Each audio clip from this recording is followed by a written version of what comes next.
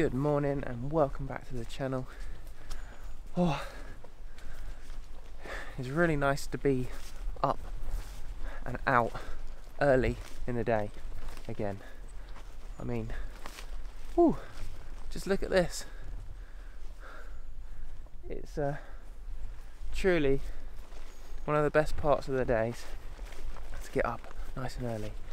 And uh, it's one of the first times I've done it in a very, very long time.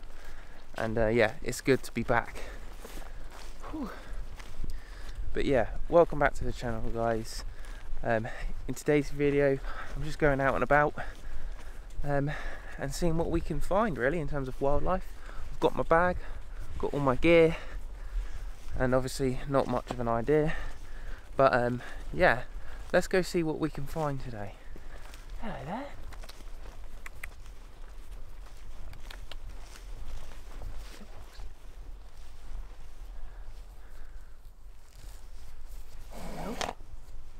Hello.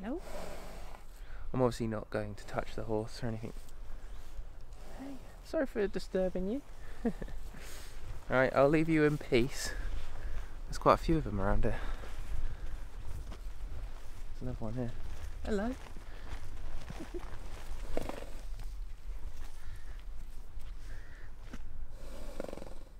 How are you doing?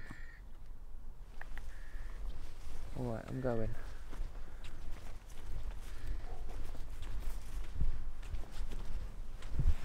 Awesome.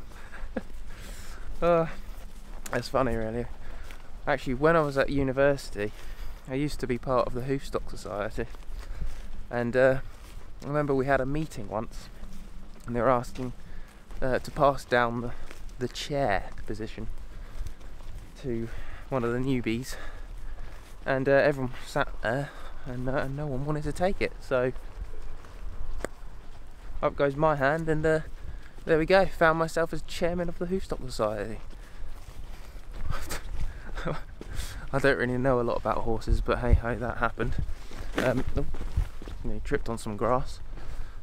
Oh, let's just adjust my exposure. I just had to come back out. The forest is a bit too dark in there.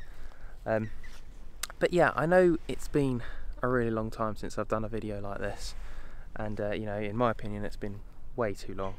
But my god, I did not realise how difficult it was going to be transitioning from obviously university where I don't have to get up that early that often to shift work where I'm getting up on my early shifts, uh, you know, so early. And I just, by the end of it, when I get to my day off, like today for example, I'm usually just too tired and I, I just go, no, no, I'm sleeping in, I'm not getting up early. Um, but today, you know, I've just got off of my earlies and today's my day off. Got one day off and then I'm back to work. And I just thought, no, I'm getting up early today. We're going to go see what we can find. And um, yeah, so far, haven't seen anything. But I'm going to a location where I'm hoping to be able to find some roe deer. Um, I walked past there a couple of weeks ago and I saw a roe with um, with its fawn. Or so so yeah, that was really cool. So hopefully you'll be able to see some of those today. Fingers crossed, fingers crossed. Um, but what have I been up to um, since my last video? I think my last, well, my last sort of proper out and about video with uh, with regard to going out and photographing wildlife, I think was the badger video. Um, since then, I've actually been out quite a bit, and you know, I've done, I've still been doing wildlife photography, uh, and I'll just put up some video or some photos of, of what I have have done. So I did go back out and find the badgers. Actually, I just didn't vlog it because at that point, I, you know, in, at, at, that point in time, I um, I just couldn't be bothered. if I'm honest, I just wanted to go out there and enjoy wildlife. Um, and yeah, I found badgers. So I've put that up right now. After the badgers, I think I ended up going and photographing the cuckoo with my friend. Um, in a, a well-known location. Oh, dearie me. This sun. It's not great, is it? Oh, let's try and get in one of these shadows.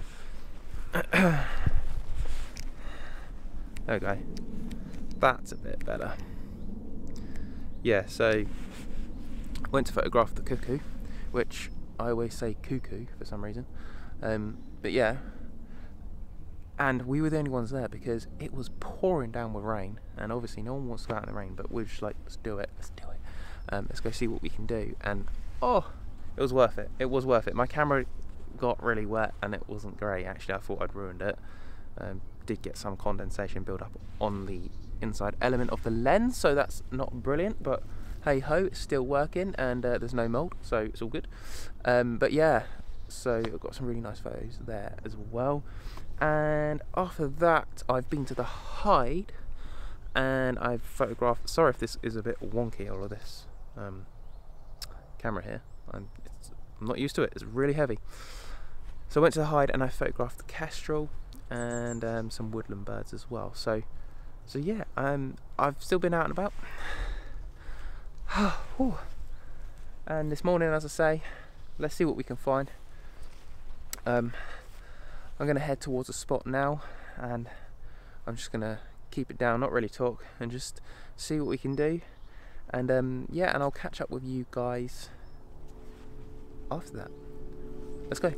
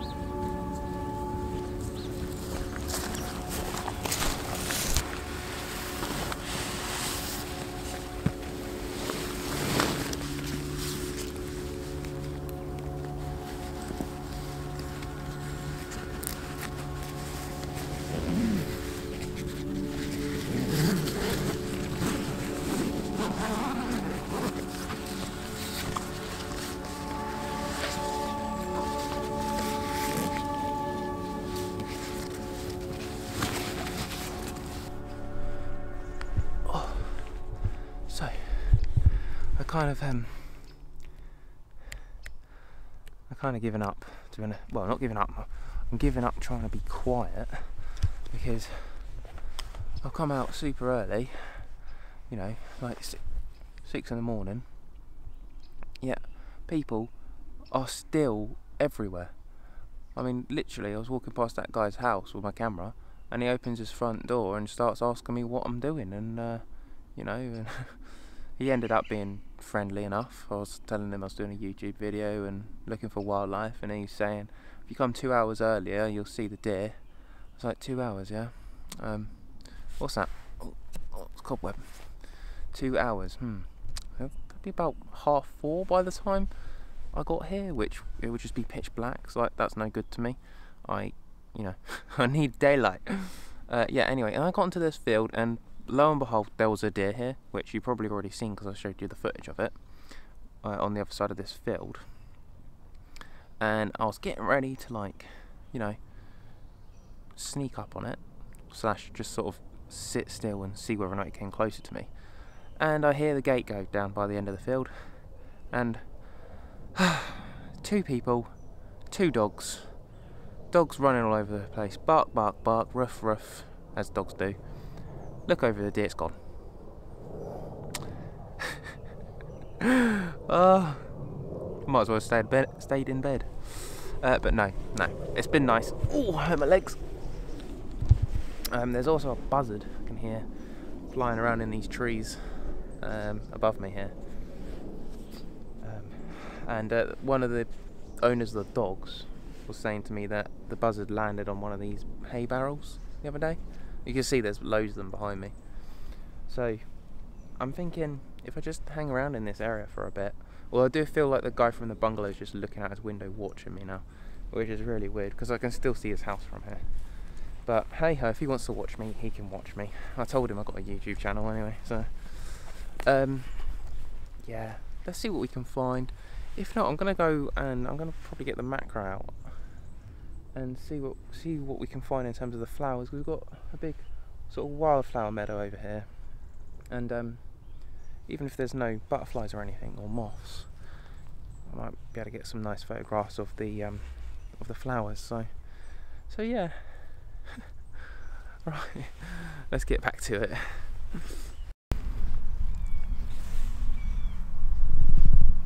You may be able to hear that.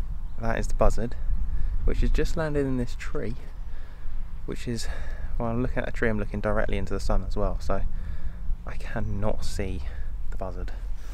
Um, you can't really get a good look at that either. Um, yeah, anyway, I'll tell you my plan. So my plan is to literally sit. I've got my bag in front of me, which is nice and camoed in, and kind of just looks like the shape of one of these hay barrels. I'm just going to sit up against one of these hay barrels and see whether or not the deer decide to come back out because let's be honest, they're probably used to uh, people walking their dogs up and up and down this footpath. It's probably got spooked for a bit. If I, and I've taken this opportunity to sort of sneak in and hide up against this barrel, which probably isn't the best spot, but it's an idea that I've got. So let's see what happens. Um, see if any deer come out and uh, say hello.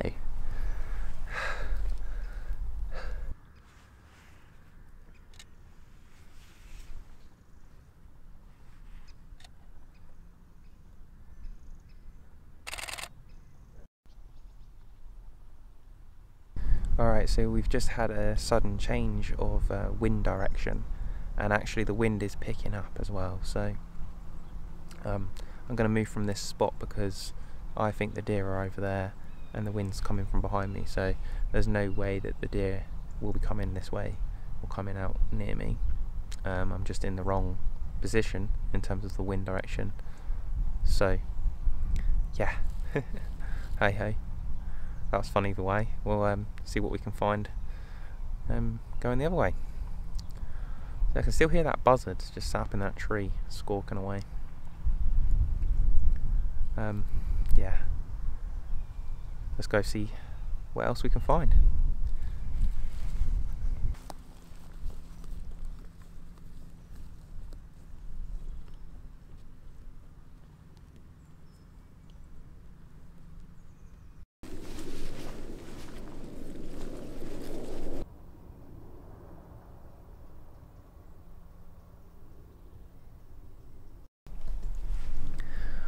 guys. I've just come onto this field which is full of uh, you know long grasses and, and wildflowers and things. So really nice. Um, there's actually a ladybird just down here on a long piece of grass.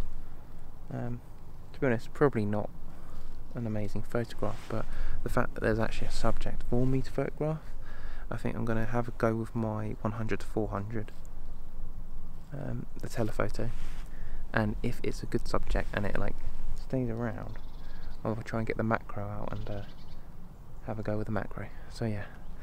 Um, let's see what we can do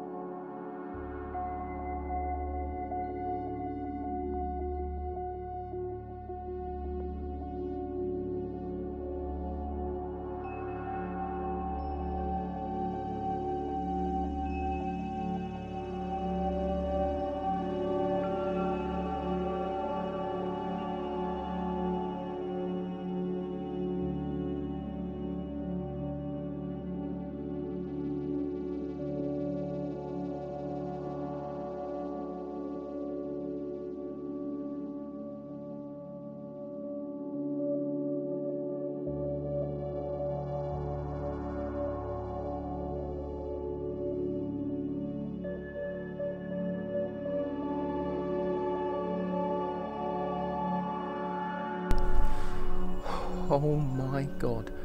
You will not believe what just happened. Sorry, I'm still shaking a little bit because honestly, I just I was so unprepared for that. I'm still sat here um, trying to photograph this ladybird on the grass.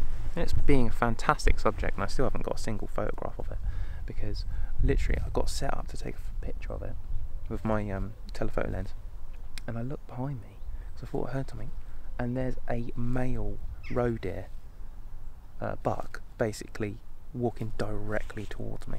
So if you see this um, gate just here, you can sort of see that silver gate, um, and to the right of that gate, there was a, uh, a male roe deer, and oh my god,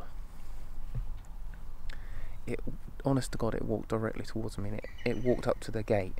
So it, honestly, that's 15 meters, if that, in terms of distance.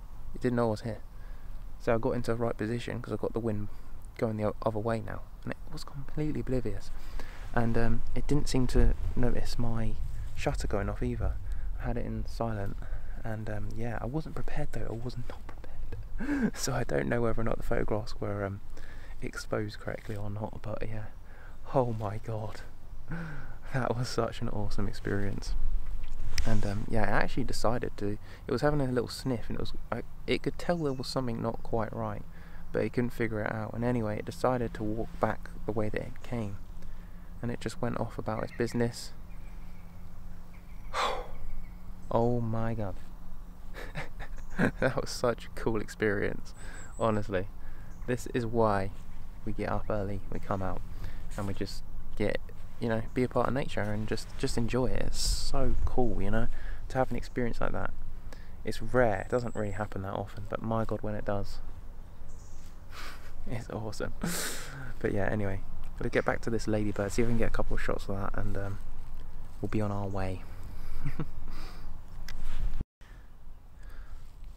All right, just to give you a quick flavour of uh, of what just happened.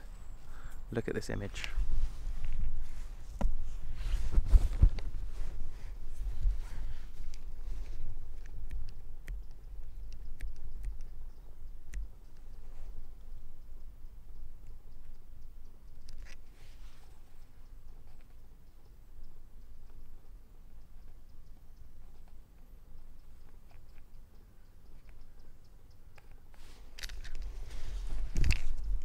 I mean, come on. oh. How can I complain about that? Unbelievable. Seriously, that's so amazing. That has made my day. I'm happy now. That's it. I'm going to go back to bed. Getting a bit hot now, so just going to take my jacket off. Oh.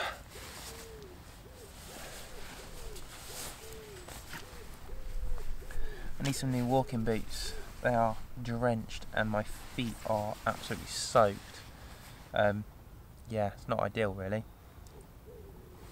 But yeah, I'm gonna put the um, the macro on. I've just got a couple of photos of that ladybird with the telephoto lens, and uh, yeah, I think they came out all right actually. Um, the ladybird is on the move now because the sun has started to hit it, and it seems to be a little bit more active and it's running up and down the piece of grass, but it's still staying in that spot. So if I'm quick, I might be able to get a shot with the um, the macro lens as well. So I'll put the macro on and then I'm going to switch it straight back to telephoto and be on my way and see what else we can find. Let's do this.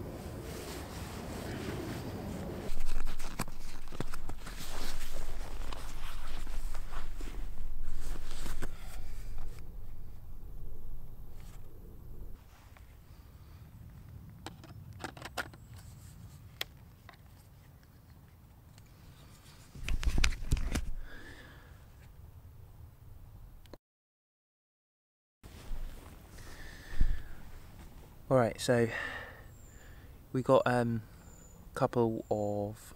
Let me just change that quick. Got a couple of shots of the ladybird, obviously with the telephoto lens, and now the macro as well. Just been going around with my Canon 100mm macro handheld, so in all honesty, the chances are they're out of focus. But I like my chances, and uh, yeah, took a few photos.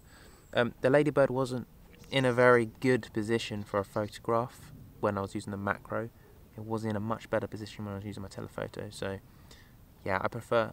Well, from looking at the back of the camera, I prefer the photograph taken on my telephoto lens. Um, but yeah, it's really interesting, obviously, to try some macro out using different different lenses. Obviously, a telephoto lens compared to the uh, macro lens.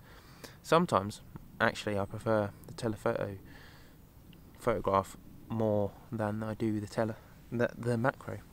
Um, but yeah, it's good to good to play around with it actually. Um, right. so,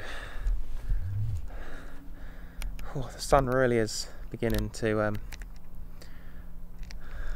break out of those clouds, and there goes a pigeon flying through. Nice, cool. So, plan is now um, head back to sort of start heading back. Um, yeah. I mean, doing this macro photography really made me want to get out and do a little bit more of it, to be honest with you. Um, I'm actually considering getting out the, um, the moth trap. We've got a, a scientific moth trap, um, which actually was very expensive. But anyway, we've got that, and um, yeah, I, I, put it out last year, and we got some absolutely amazing moths. Um, what was it called? The elephant hawk moth. I don't know if you've ever seen elephant hawk moth, but if you haven't, look it up, or I'll show you a picture. Um, incredible colours, incredible colours. But yeah, there's just so many different types of moths, and I really want to get to know all the different um, the different types of them. But I'm never gonna because there's so many. Um, but yeah, yeah. Anyway, I'm gonna stop, sort of, talking, and um, let's uh, let's head a head back and uh, see what we can find. Let's go. Actually, change of plans. This is going to be the end of the video. Um, I can see I've already done so many like little clips and things. This is going to take forever for me to like edit and and sort and stuff. So yeah, you know, time is precious. So I don't really want to make this too hard for myself. So I'm going to leave it there. I feel like you know we we got quite a, quite a good lot of content. Let me just sort my exposure out. Um, the sun is playing games with me today, obviously because of the cloud and stuff. Um, I think that's a bit better. Um, I do apologise if it's not.